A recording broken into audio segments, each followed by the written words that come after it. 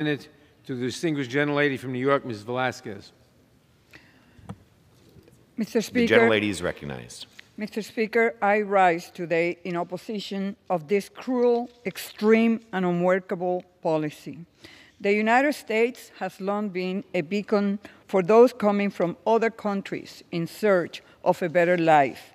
The bill before us today will end the asylum system as we know it and eliminate humanitarian protections for people coming to the United States. Many asylum seekers are escaping conditions that we cannot fathom. Yet, here we are debating a measure that will subject them to more cruelty. Cruelty is the point, but cruelty will not fix our broken immigration system.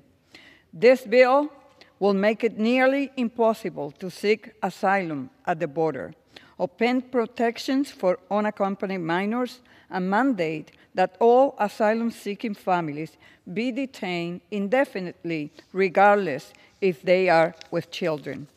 These policies will only exacerbate the extreme suffering. Mr. Mr. Chairman. Speaker, I yield the gentlelady an additional minute. These policies will only exacerbate the extreme suffering occurring at the southern, southern border. If Republicans really wanted to address this crisis, they will join Democrats to pass real, comprehensive immigration reform.